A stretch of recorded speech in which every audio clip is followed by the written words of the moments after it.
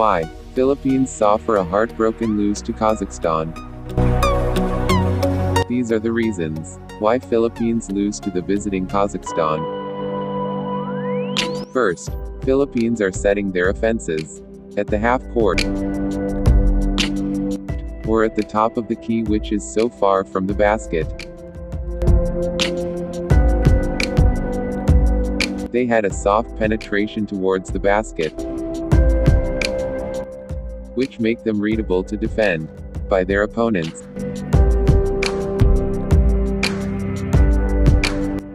Only Pringle showed a strong penetration to the basket. Like this one, our player try a very soft penetration to the basket, that makes him to make a kick-out pass, and turns the ball over. And, this game also, it's often that our player, are wasting the time, dribbling the ball away from the basket, and getting some of the shot clock expired. Which is not supposed to be.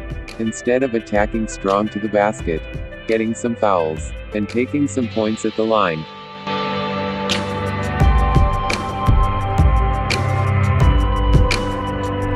Second, Philippines have a slow start and have a slow transition defense, which make the Kazakhstan easily make a basket in transition. Like this one, our big are way behind from the Kazakhstan's bigs. So, it's easy basket for them, with a small defender.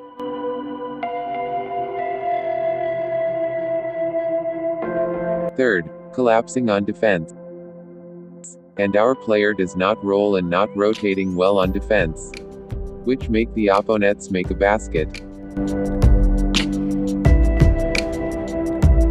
Fourth, almost in the entire game. Our player does not capitalize the Kazakhstan shooters. They always have a late close-out defense which probably hurt us. Right here, our players does not closing out the shooters. So it's automatically a three-point basket.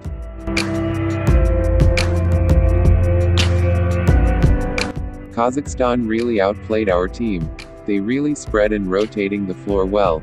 That makes our team trembling on their defense.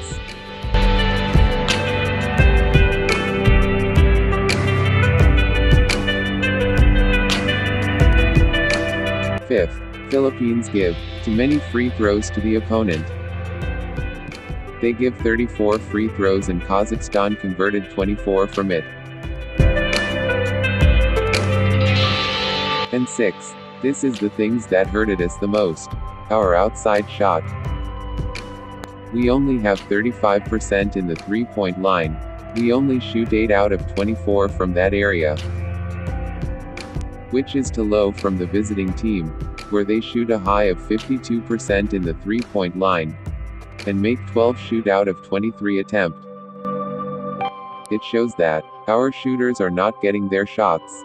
So they need to spread out well, in the floor, and penetrate more to the basket to open up our shooters. For your opinion, is lack of team chemistry, or couching factor, is the real problem of Team Filipinos, or something else? Just comment it down below, and thank you for watching.